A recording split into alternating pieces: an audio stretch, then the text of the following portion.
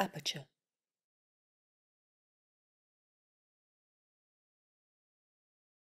Hi, everybody. I want to thank you all for joining us tonight. My name is Leslie Martin. I'm the creative director at Aperture. And for those of you who are not familiar with us, Aperture was founded 70 years ago by a group of artists, writers, and curators as a common ground for photography.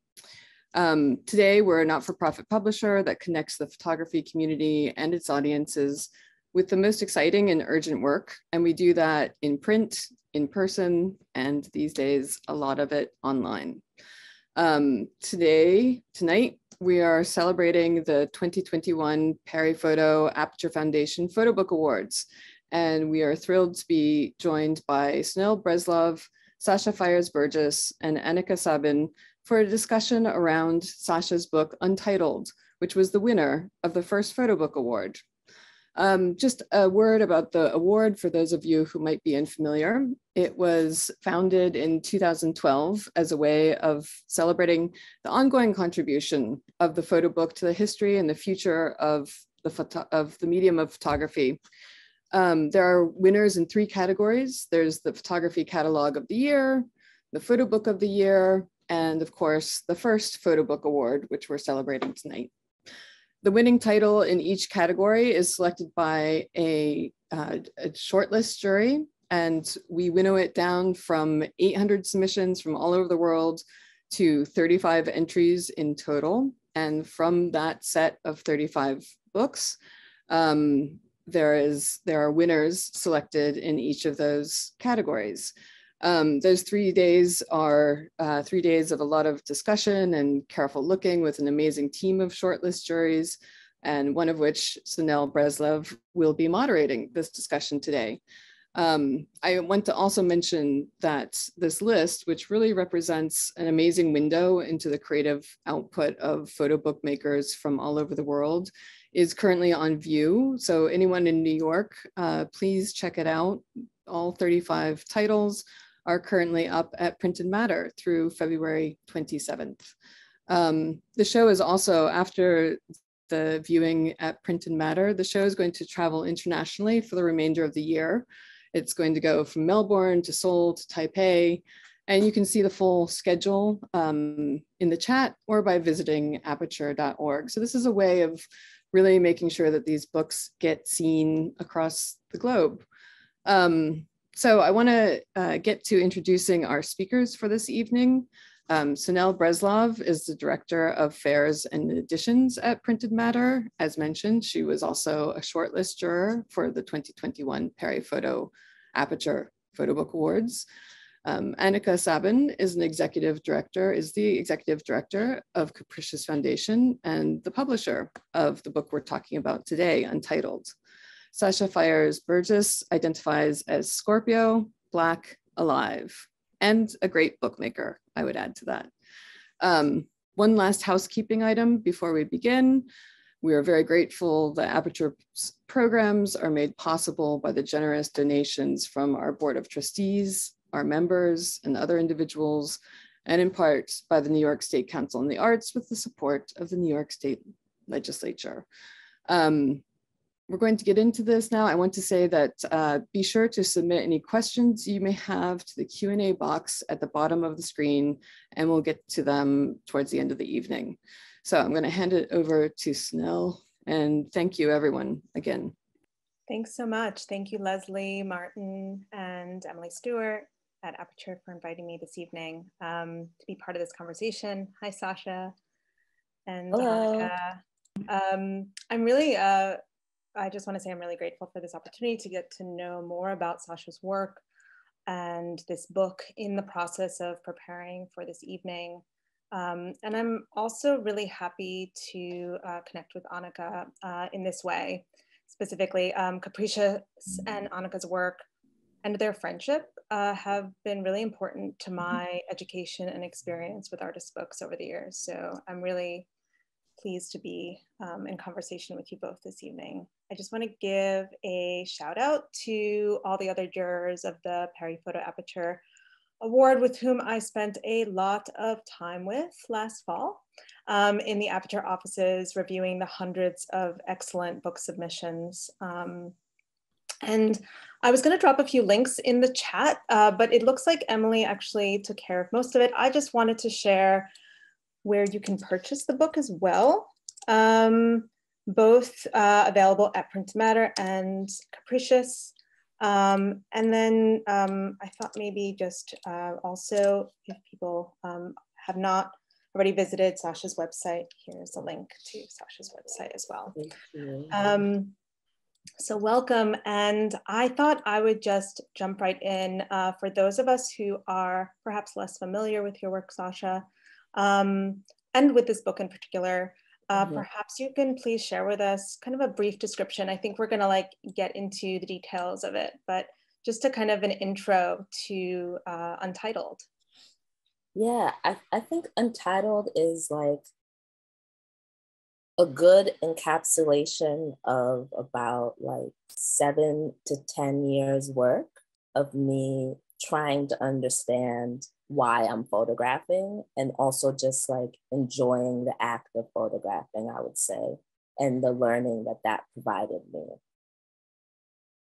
Yeah. Sorry, I'm mad short. Like, yeah, no,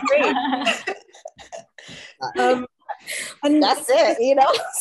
no, that was I asked for brief, so you get yeah, you, gave it to us. um, do you think you can share like a little bit more about the title of the book and mm-hmm. it, it, repeats itself a few times as i believe the title of the chapters as well and perhaps mm-hmm. titles of the body each of the bodies of work but maybe mm-hmm. um maybe just untitled uh yeah as the title of the book maybe you can yeah there so I'll just say that it began unintentionally. Like Untitled was always a placeholder because I just never knew. I feel like some people are very good with titling. And so they kind of like know how to title things, but it just became a placeholder for me when I was just making work. What's the name of it? It's untitled. I don't know. But then after a while, I realized that I never went back and like changed the name to something else. So like the first one was like um, the first chapter in the book is called Their Yankee. That was like the one thing I had a title for. But then the next chapter became untitled. And then after a while I added in parentheses and again and again and again and again. And then the third chapter chapter is untitled part two and three. You all have to make compromises. Um, and then it just became this way to say like it's not titled yet. Like it might not ever be. It's not titled, and here's some information that might help you get through this. Yeah. Yeah, thank you for that. Um, uh, I guess to ask a little bit more about how, you know, how some of the decisions around the construction and the design of the book were made. Um, again, like I think that there's been some images shared of the book, but I thought I would do like a one of these. Yeah. I also unveiling. Oh, I'll do it together. um, Mine's already exposed. mm-hmm. um, how the cover actually, I mean, I have some like sticky notes now sticking out of mine, but it, uh-huh. it does actually, we talked about this, the idea of a slipcase and it, it can function as a slipcase but also the cover comes entirely off. Mm-hmm. And there's, you know, I find it to be a very particular red. And I was, you know, I was hoping that you could share a little bit more about the decision around the red, but also that it functions as, in a way, a frame. The book can be placed on top of it and really does create a frame around all of the images. Mm-hmm. Um, I was, you know, thinking about like the idea of a hug, and I started, you know, associating this with a lot of the um, images also inside of the book, which we can mm-hmm. you know, look at a little bit later. But there's there's a lot of kind of like sensuality to mm-hmm. the way in which um, hands and bodies are being embraced. Mm-hmm. And so it really, in some, you know, I don't want to get too ahead of ourselves, but it starts with me with the design choices. And so mm-hmm. I thought maybe we can hear a little bit more about that. Yeah, I'll talk about it, and then also Anika, you can jump in as well because I feel like it was really like a. So, you know, a slipcase was something that we did discuss at one point. Basically, the initial process, and I feel like we could go into this bookmaking process, was when I first had like my initial meetings with Anika and Sophie and also Studio Lin as well. You know, I started taking some pictures of books in the library. At the time, I was uh, in Chicago, so I took books from the Columbia College of Chicago Photography Library, and I just went and I just looked at photo books. But then, since I was in there, I was just like looking at books and stuff. You know what I'm saying? I was just looking at stuff, and so I kind of knew there was a certain type of book that I was interested in. Of course, the really big book at the time was the Dana Lixenberg Lixenberg book, Imperial Courts. and I really just loved the way that book looked. But there was open binding stuff that I was really interested in. There was like stuff with like cardboard on it that I was like, oh, this is kind of cool. Things that were like all these different things. So I took pictures of all of it and I sent that to them. And then we kind of started talking about it. We talked about a slipcover case and the possibility of three separate publications, three separate books in there that would come out. And then um, you know, Anika was like, it's a little bit messy, blah, blah, blah. And honestly, Anika, I feel like I actually was curious if you could talk about your like book knowledge too, because like I feel like that really helped a lot of the decisions I made in hmm. terms mm. of like this should or should not be happening. Yeah, I feel like well, so when you initially came to us, it was kind of through the Capricious Photo Award, and you had applied with the dance series.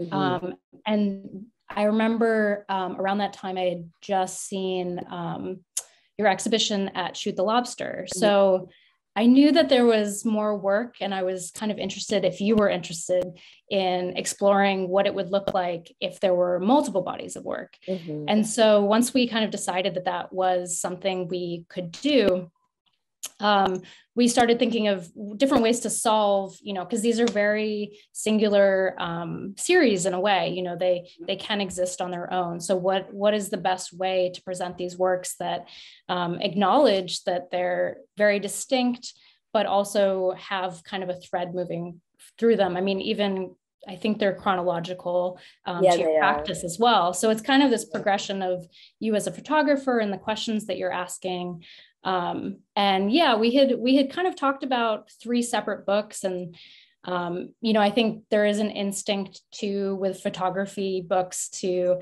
have a hardcover with like a tipped in image, and um, you know, nice. that's there's nothing wrong with a classic, but I think um, for your work, it, it felt like they needed to be nestled closer and um, three different separate books felt like they were kind of entombing them in a way. Mm-hmm. Um, yeah, yeah so saying that, yeah, yeah. So we so we move forward um, with uh, one book, and then it sort of moved on with the collaboration with Alex in terms of um, the binding and kind of creating this more open um, book, basically mm-hmm. exposed. Mm-hmm. Yeah.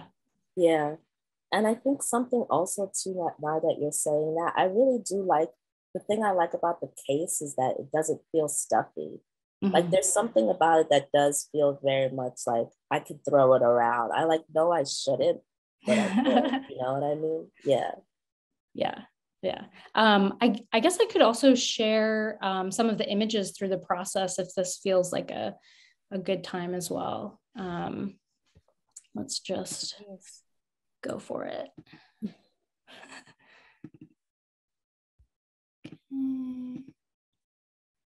Great. So um, I just kind of created a little slideshow of the process and the pre-production aspects of it. Um, this is one of my favorite photos from from the whole process. Um, so we were lucky enough to actually uh, be able to meet in person. This was in 2019 when we started. That was pre-COVID, y'all. This is pre-COVID, pre-pandemic. Um, so I feel really lucky that we had this space. Um, this is Baby Company in between exhibitions, and we just kind of took over with all the images. Um, and these are the three series. Um, you can see also that the third series has quite a large amount. So that was a feat kind of figuring out what the best way to um, present all three in equal weight. Mm-hmm. Um, so I think those were also uh, decisions within the design that sort of made that possible um, as well. And then this is another uh, image from just our first sequencing, and these are the um, from the dance series. Um, and then I wanted to show a couple of the wet proof um, tests. These were done with uh, Alex Lin, and you can see we tried a number of different things, seeing how um, how the ink um, did. We did black and silver and a, a, double hit of black, and we also just kind of wanted to see how the ink would sit on different papers. Um, and this is again, so we, we definitely treated each series very differently in terms of paper and ink. Um, we, for the first and the third series, chose a very uh, like matte white paper, um, which I think kind of intentionally um, was soft and fit with a bit of the grain of the, in particular, the first series. It kind of integrated really well. Um, and then we used a very high gloss um, for the center series, which kind of anchors the book and also kind of mirrors the energy, I think, too, um, of the images and, and the conversation too. Um, that we'll get to. So this is just a um, image of the book in various um, undress, I guess, but um, you can see we uh, we used um, a red uh, Coptic binding, and um, of course we we discussed the importance of the red, and we did feel like it kind of created an, a nice palette for the book to lay on as you looked through it. Um, and then the final image is the red thread. It isn't prevalent throughout, but there are a few moments through each series where it kind of peeks through um, and kind of reminds you of the interconnectedness of, of all the series, I think. Um, and I think that uh, felt really nice. So that is um, just a bit of the process of what we were thinking of how the book would come together. Okay. Thank you. And that note of the red thread was it's it's really subtle and I appreciate you pointing that out because it's not necessarily something that I immediately see. I mean, the book there's a it's kind of um, it's packed, you know, like in in these amazing ways. Like there's there's so much content, and um, I also feel like there's many ways to just like enter it, you know, in a way in in the way that you're speaking to it. It could have lived as three you know, separate uh, projects. Um, I want to uh, kind of talk a little bit further at and this and and specifically more the the text that in, mm-hmm. that is included in the book because there's um, there's a lot and it's also very different um, like from each other. Uh, uh, can you um, either Sasha or Anika, I guess remind me also each each series is um, you use a different kind of camera, right, to produce each body of work. Is that right? Like there's an intentionality yeah. to the the the the the, photog- the photography as well. Mm-hmm, mm-hmm. Um, could you just remind us of what what uh, what you are using in each in each series? Mm-hmm. So each body of work. So the first body of work I'm using in the Mamiya C330. I was shooting on film. The second body of work, I was using a Canon 5D Mark II, probably with a flash on an extender, and I was doing one of these. And the third body of work was um, four by five camera. And so I know, like, just in terms of a, discuss, a discussion around photography and, and lineage, you know, like, um, I'm a photo, like, I I went to Bard College for my undergrad. It's a rigorous photographic program in which they allow you to have experiences with different kinds of cameras. And I think that that as an initial experience for me, and then the um, experience I had in grad school, which is where I made the first and the second work. So the first work, body of work, I made directly after I graduated college. So it wasn't like I made any of that work in college. It all happened afterwards, and that was over a two three period of time. Then I made a bunch of work in between there. That's like neither here nor there. And then I made the um, first, second body of work um, during my first year of grad school and the, wait, the third body of work during my second year of grad school. So it was like, um, and I went to Cornell University for grad school. It was um, a fully funded program i'm going to say it and it really um, it did a lot for me and one of the most beautiful things that it did for me was give me access to cameras and it was just like i was able to just like use the camera how i wanted to. So the four by five camera i had for a year and i was just shooting shooting shooting with it all the time. Like i would go on trips i'd take the camera with me i'd shoot i'd shoot i'd shoot. And each camera had a different experience it enabled me to do something differently i think I was thinking about the history of photography. I was thinking about a lineage. Um, I was very lucky enough that after college, I worked with Larry Fink for a year. And he actually gave me that camera, or he let me use one of them, one of his. And then I got to use, then I got my own camera because I was so excited about it. And that's the camera that I shot with. And I could say definitely in the second body of work, I was always thinking about the way that like Larry used to like be with the flash and like a lot of his um intentionality around like shadow and light and the way things felt and stuff like that. And i knew i always knew in my head i wanted to do something like that one day. So finally you know i was going to parties everybody was partying. And i was like when i got to uh, cornell i was like i'm gonna shoot like the black fraternities and sororities on campus. And then i used the digital camera in that way. Yeah.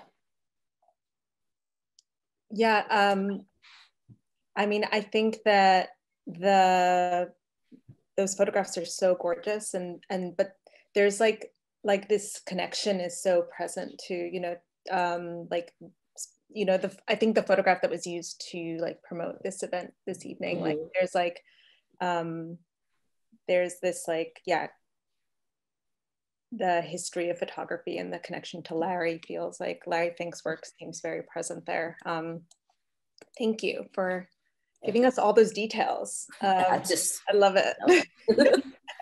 um, to I guess you know to to kind of continue on this thought, like in terms of like how the text also plays this really oh, important yeah, role.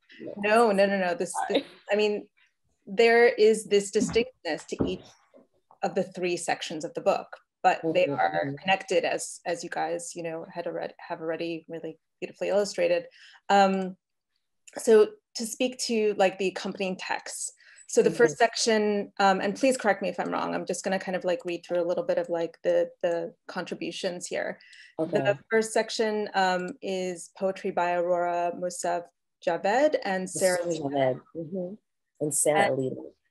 And then there's, so that's the first section of the book. And those are photographed in, can you remind me of the location where you were photographing there? So those were all photographed in Trinidad and Tobago. And so I wanted, the reason why those two people wrote, I wanted them to include their pro poetry for that section was because I felt like, you know, Sarah Lita is like, um, is a Dominican poet and writer and Afro Latina, and I know she probably not like that, but you know what I'm saying? Like she was, I felt like there was a, a lineage there with like kind of coming to terms with a certain type of Caribbean identity and being in the US. And I think that's how we made friends with each other. And then Aurora Masum Javed, I met at Cornell and is also a writer that is South Asian. And it was always like something that we were kind of talking about the South Asian influence and presence in Trinidad and Tobago. And so when I knew that she had written this poem about swimming and water, and I felt like that was the thing that, like, those were the poems that could hold that section because that's what the, that section felt very um, like held to. Thank you. And then the second section, section, yeah. sorry. no, I was, I was, I was, I could prompt this, this next one as well. The the series of dance hall photographs. Um, yeah, yeah. With this, that are followed by a quote from Frantz Fanon's uh, "The Wretched of the Earth," and then mm-hmm, a mm-hmm. transcribed conversation between um, you, an artist, Juliana Huxtable, and Carolyn Lazard. Uh, mm-hmm. if you want to share a little bit more about yeah. how those uh, uh, texts were included in uh, alongside that body of work? Mm-hmm.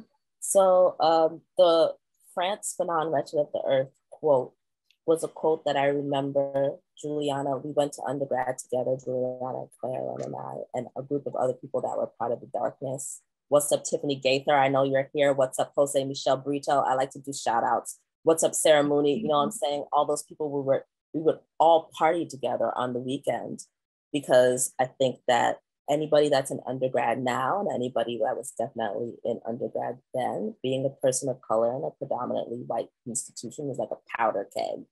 And it was like you would spend all week in class being like, and then on the weekend, it was just like, so I feel like this quote resonated on a level of trying to understand the need to connect with one's body. And I think I also, when I was at Cornell, the reason why I ended up making this work was because of my experience in undergrad, where, you know, it there was moments when my body just needed to be free, the idea of release, you know what I'm saying? I think all people, this is a human thing. Uh, and read like reading this, I just remember Juliana picking this quote out and always being very like struck by it and also struck by the way it's situated in that portion of Wretched of the Earth. And Wretched of the Earth as a text that was like seminal in my understanding of myself as a Black person in America and understanding myself as a colonial subject, both that of Trinidadian parents and also a first generation American, what that meant in terms of global structure and power.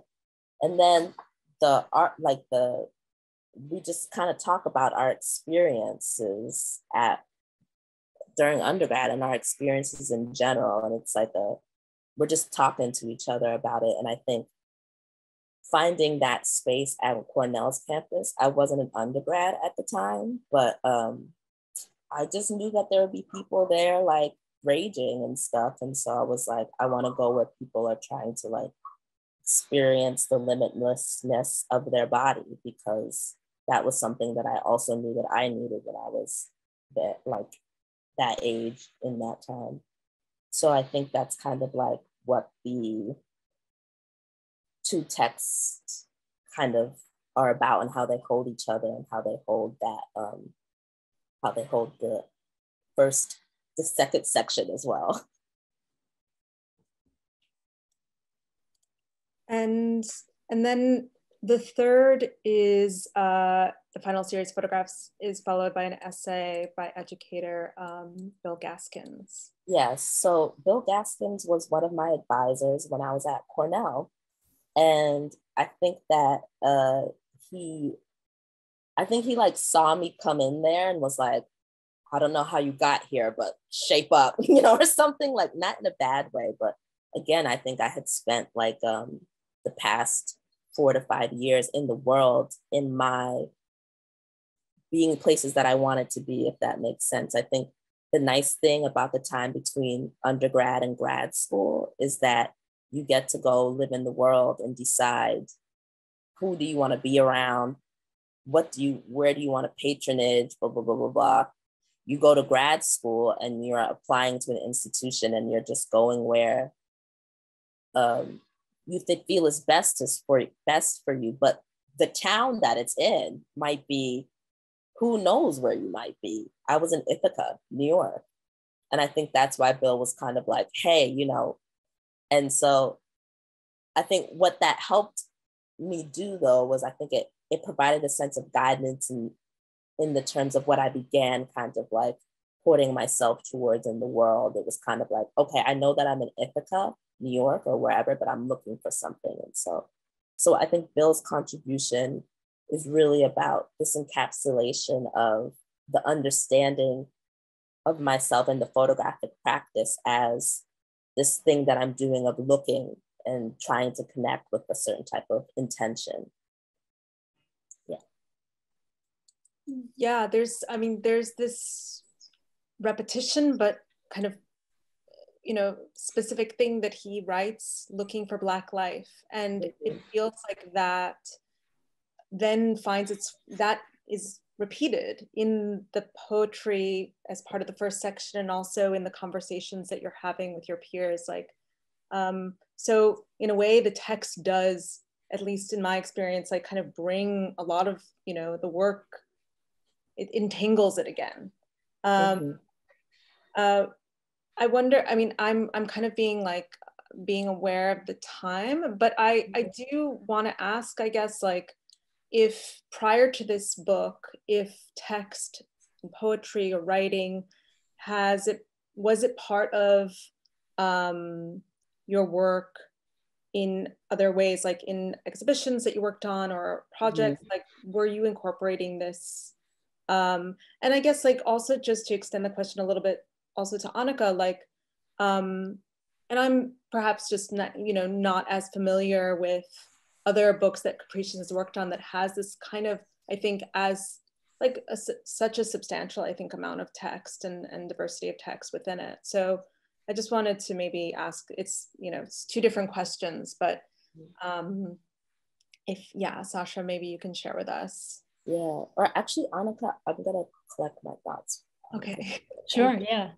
Um, yeah, I think when approaching photo books, we often look to different ways of uh, finding texts that articulate in different forms. So, um, you know, for uh, John Edmonds, who was the first recipient of the Capricious Photo Award, we um, had a conversation, an essay, and also something that was a bit um, more poetically driven. Um, so I think we do like to find the spectrum of, of different entry points through text for sure. Um, yeah. yeah. I think that I, in exhibitions, I think I like to use sound more than, mm-hmm. but I do use text like in certain ways. But I think knowing that, especially knowing how John's book was made and knowing that there was a conversation, there was, I was like, oh, I can include these things. And um, yeah, I wanted to I almost felt like, yeah, it was necessary to like weight each body of work with a little bit of text, you know, to. Contextualize mm-hmm. it or set the scene or something like that. Yeah. yeah. And I and I think that each series, um, the way that the text informs the work and vice versa, like I, I think they fit very well. You know, it just I was thinking while you were speaking about the conversation, that was the the very first text that we received um, in. Oh, I think yeah. you had the mm-hmm. conversation in the summer of 2019. So yeah, I did. Yeah. Yeah. So that really, you know, that conversation kind of was the launching point and all the kind of questions that are brought up and sort of the um yeah. So that energy and sort of the the way that you all are um, speaking and kind of creating the space for yourselves is really indicative also of the images. And I find that you can kind of make those um, kind of tangible points between each text and the work that they're kind of speaking on. So, yeah. Yeah, yeah I think, yeah, but I think it's really interesting that the conversation was the first one. I didn't realize that I had it so early to just said that. I was like, yeah, that's true. Cause I really do think it sets a certain type of energy. Like definitely. You kind of like the, the beginning is very quiet and maybe a little bit of contemplative, but then you get to the, the middle and it's like, and I feel like that conversation encap- encapsulates like all of it that kind of like the stillness of it our questions around representation mm-hmm. especially around the representation of black people in photographs. It's like you know it's a question that i ask myself all the time. I make photographs i'm obsessed with photography and i'm like you ain't doing nothing because at the end of the day the problems persist you know? The problems of what it means to kind of like uh, what it means to be black in, a, in america in the world on, on a larger context. And so like I think for me to have the question to be asking myself often is important for me. And it runs throughout the book, I think, even as I'm looking. Mm-hmm.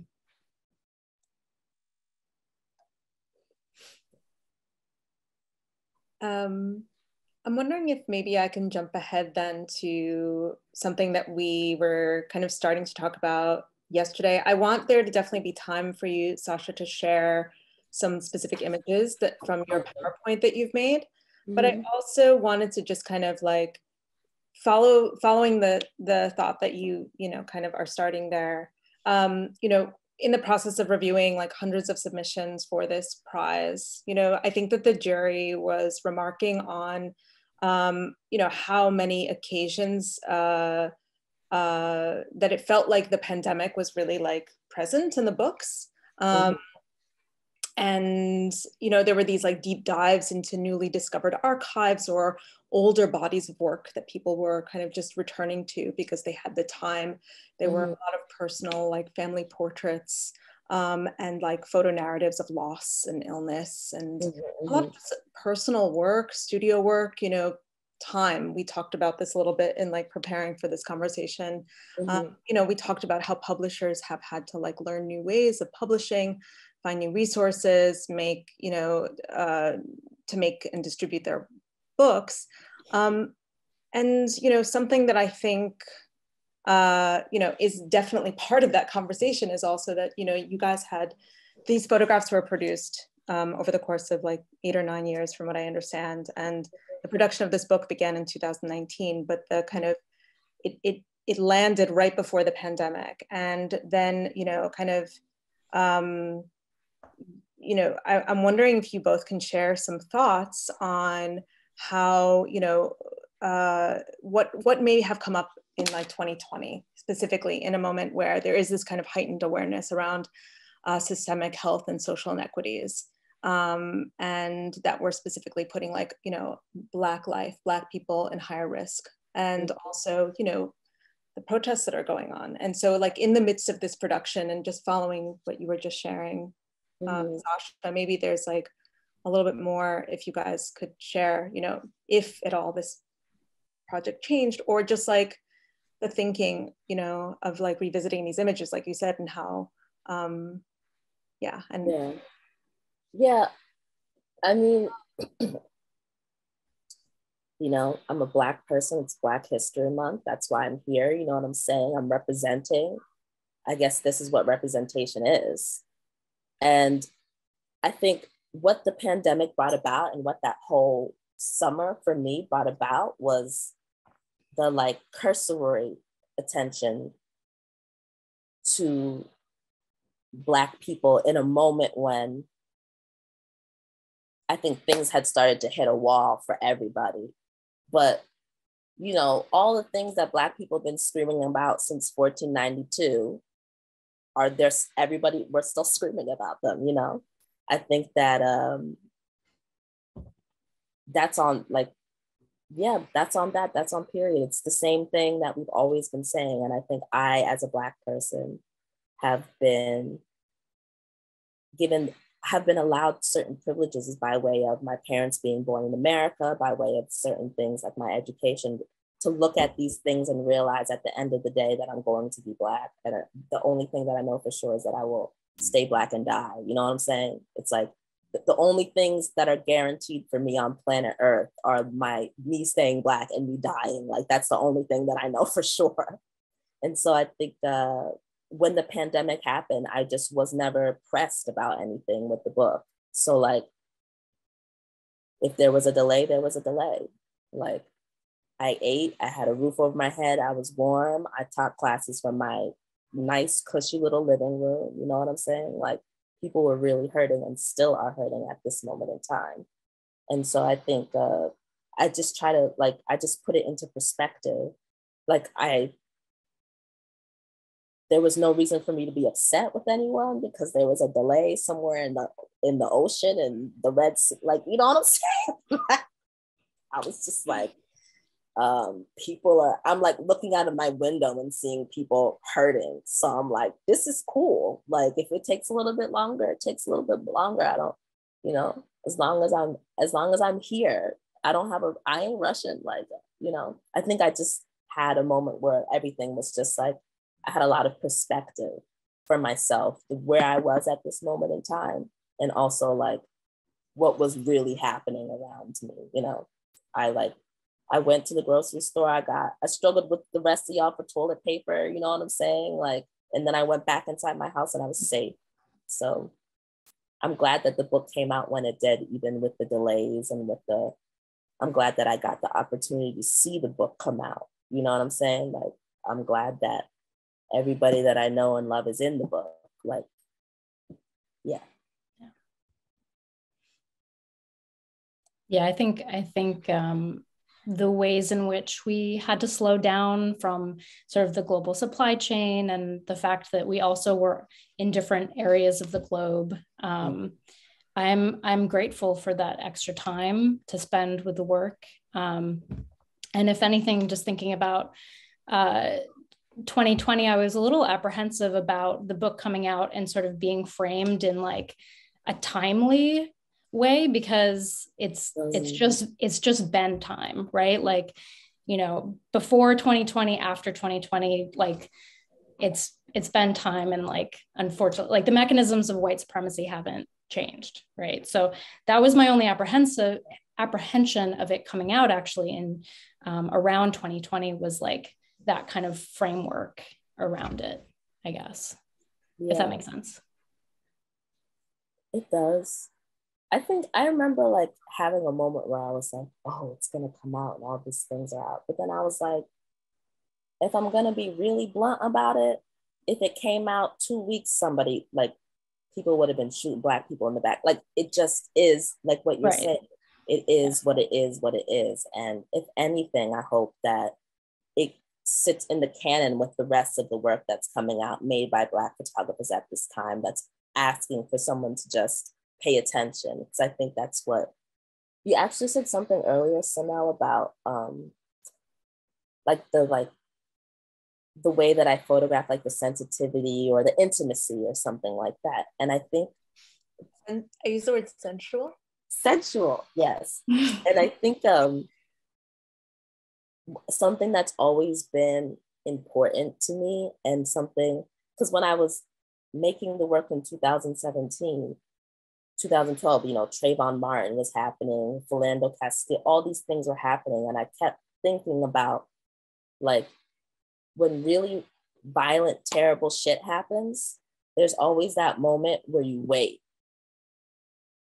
And so I was like, the most sensational and the scariest thing that happens to me is like the moments when I'm waiting and I, I feel as though anything could happen to me or my loved ones or anything like that. And it's not the like craziest, wildest like thing that you see on the news. It's the like, it's like the the dearth of being alive. Like I don't even know how to explain it. Like it's just like the weight of just like life. And I feel like that weight of life is something that hopefully, if everybody is all right, can relate to. and I think that's something that's like, yeah, I feel like that's something that I should say about the work that the waiting, that the like the light on the table, the like way that your, you know, your friend's back looks when the light hits it. You know what I'm saying? Like the way that your somebody's hair or the thing across the street, like all that stuff, that's like the things that I like hold on to in the world that remind me like okay you just keep doing the thing because there's these things even amongst all of this like shit i don't know i think this is a perfect transition to look at some of the work so. okay um, right. I, yeah thank you so much so i'll share my screen mm. So uh, the first body of work there, Yankee, I'm just gonna go through the photos and maybe just share a little bit. This is my cousin Joey. Um, we look very similar.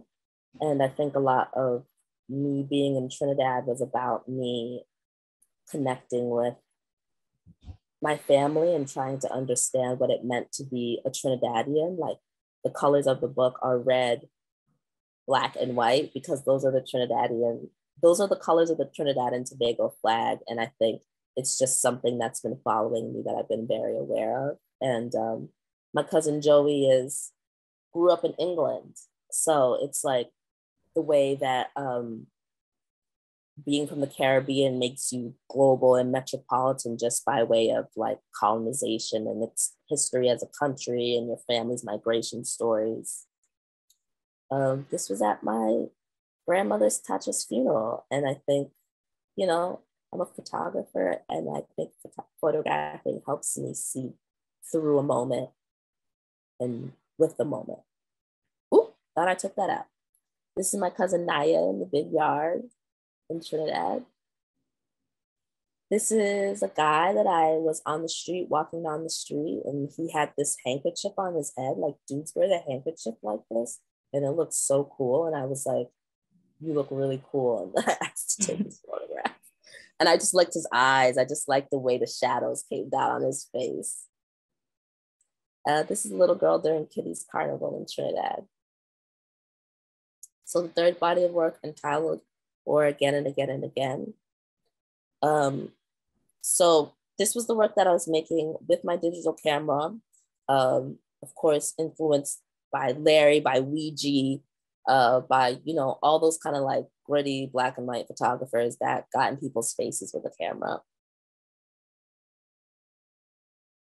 And what and I was so I was photographing historically black fraternities and sororities at Cornell University and the first Alpha Phi Alpha chapter started at Cornell University, I believe. And so I was photographing the Alpha Phi Alpha chapter at Cornell University. And yeah, I would go to these parties that they would have and just hang out and dance and photograph. And then I would send them the photos and they used to post them on Facebook and I feel like there was always these really um, interesting moments that would happen in the crowd that I'd be like really excited about. And yeah, I was just like pointing my flash at the ground so that it would bounce off the ground and up at these dudes. And these are two members of the Alpha, AKA, is this Alpha Kappa Alpha? Alpha? Uh, this is sorority at Cornell. And I cut their feet off but I still like the picture. Uh, Untitled Part Two and Three, We All Have to Make Compromises, was a body of work, honestly, that I started making in 2017. And I was really intent on seeing all of my family and friends because I was, because death is prescient, you know? And um, this is my cousin Ashley and her baby EJ in Charlotte. This is in Ithaca, New York. Um, there's like a community center called GIAC. And um, one day I was like, I'm gonna go take pictures. And then I just told all the kids to point at the sky. That's it. That's the story. These are my childhood friends, Leilani Miller and Kristen Brooks.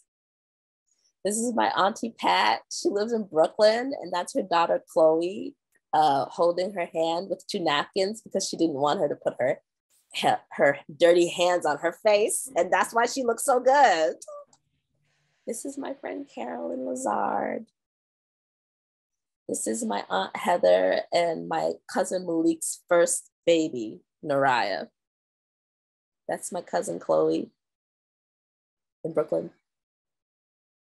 Uh, this is my friend Leilani Miller on her 30th birthday in New Orleans. And I just knew I wanted to take a photograph of her on her birthday. And so I was just like, I would like you to lie there and I don't know. I just thought it would look striking. I can't really quite remember what was in my head. I just knew that that was the thing I wanted to see. This is my Tante Rita looking at photographs on my aunt's couch in Pennsylvania. That's my cousin Kennedy and my other cousin Joshua in the corner. I've been photographing them. Like one of my first big photo projects was those two. And these are my cousins, Aiden and Isaiah, also in Pennsylvania. Yeah, I know we're at time, kind of. So, thank you so much. Um, yeah, I think that uh, there are a few questions already from uh, people who are joining us, and this is definitely a good time to add another question. Um, I'm just going to jump right in. Can you guys see them as well? I'll read yeah. them aloud, but I'll, uh, I just want to make sure you guys can read them if you want to. So there was a question earlier uh, from Stephen who says, first, love the book.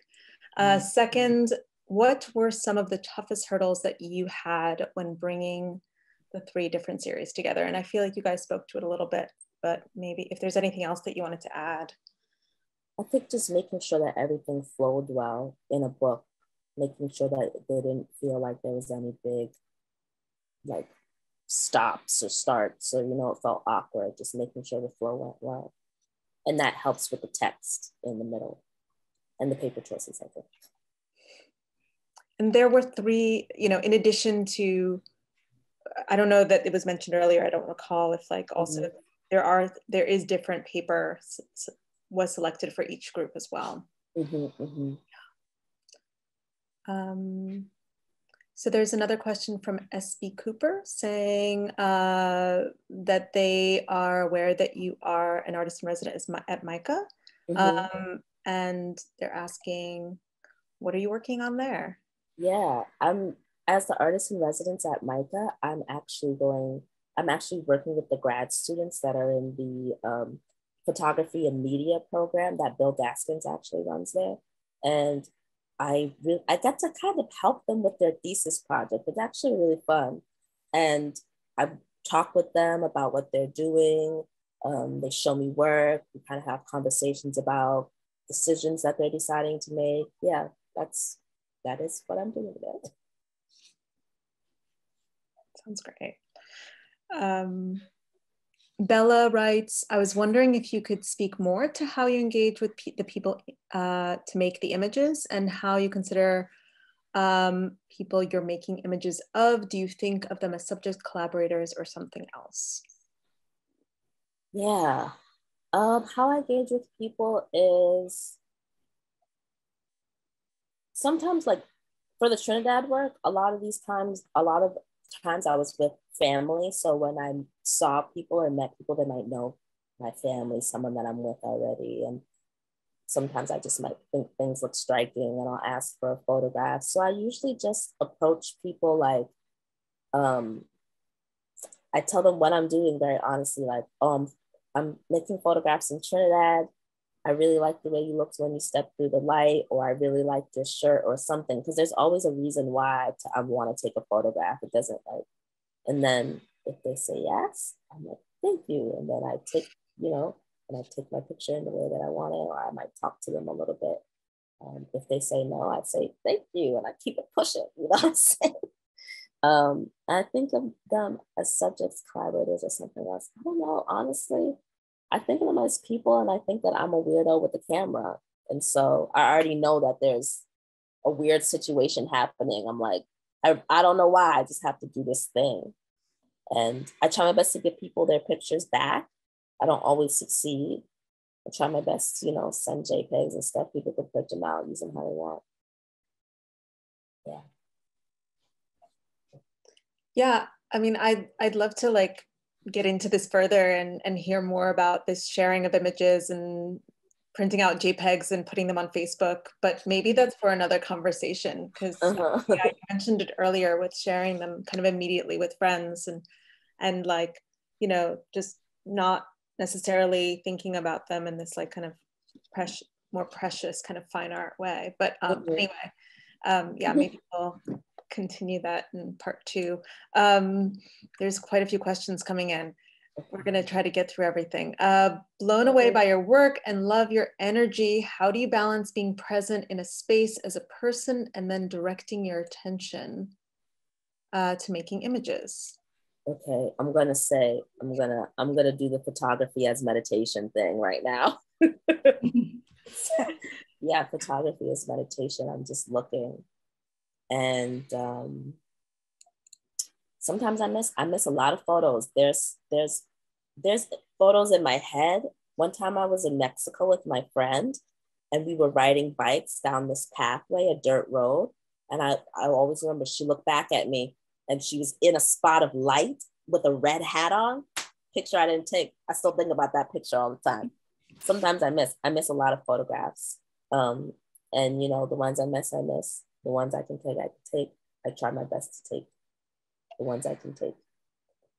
And sometimes I don't photograph at all. I just look. Are you ever shooting in color? Mm-hmm. I'm like shooting in color right now. You're you're shooting. yeah. yeah. Cool. um, uh, next question. Uh, my question is about why and how you decided that the form of the book was the direction for these bodies of work. Mm-hmm. Um, um, I didn't necessarily decide. I think I threw a Hail Mary at Capricious and they caught that shit. and I was like, oh. and then a book it became. And it was a, and I think it, I think eventually it would have become a book. It probably wouldn't have been like this, but that's what happened for real. Are the Capricious Awards, are they still open or are they just closed, right? Anika? They just closed for the year. Yep. Open again next year though. yeah. Yeah, everybody should sign up for email lists of Capricious, Aperture, Printed Matter, learn about upcoming opportunities. Um, uh, Martina writes stunning images. Sasha, can you speak about how you create or envision compositions since most of your work seems to be more spontaneous? Do you think about what you'd like to create beforehand? Um, sometimes I do think about what I'd like to create beforehand. Um, I'm not one of those, I know some photographers, like something that I always thought was cool about Deana Lawson was the way that she talked about um, how things come to her and then, you know, she draws things and stuff like that. I never, that's not really my way. But if you are one of those people, you should do that because I feel like it's very helpful. But I kind of just, what I'm um, just like technical stuff, like if I want a, shallow depth of field or certain things like that. And then when I come to something, I just kind of look and make decisions when I get there. Yeah.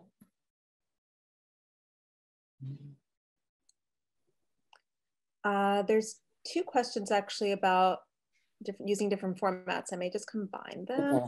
So uh, Patrice writes, Sasha, are you still making a lot of work with the four by five? How does working with large format camera change the way you make photographs? And then later, Lee Stokes asks, Sasha, do you ever shoot on 35 millimeter film? Or do you mm-hmm. want to? So I'm sure uh, material, yeah. Yeah, sometimes I shoot on 35 millimeter film.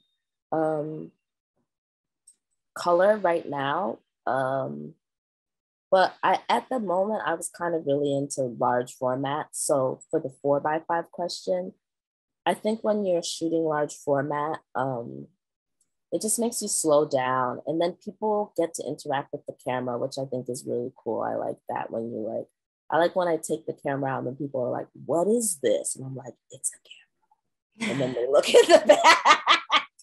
and they look at the back of and then, you know, that's really cool. I like that. And people get really into it. And then they're like, man, I should take photos. I'm like, take photos. Yeah. So uh working in large. Yes, it definitely does change the way I photograph. Yes, I do think it does. Yeah. Thank you. Um, John Levy writes, could you talk some more about how you sequence the photos in the sections of the book? Did you make a lot of changes over time or did you arrive at a sequence and it felt right and you stuck with it? So there's this great photograph of you, Sasha. And I guess the question is, how long did that take? Um, some sections were much easier than others just because of the amount of work. So I think the first and the second sections came together pretty easy. And I think I sequenced by flown by feelings and sometimes I sequence by things that I know, like like how one image is gonna do next to another. Sometimes I'm like, it's too many portraits in the row that needs to be broken up. Sometimes it's like, um, yeah, how are things moving with each other? So, and then honestly, I think that there might be another iteration of, sequence of these work. Who knows? You know what I'm saying? I don't think I want to like um, say like this is it. Um, I think that like each version of a thing you do is the iteration of the thing. So yeah, I, I stuck with this one, but who knows what could happen to people.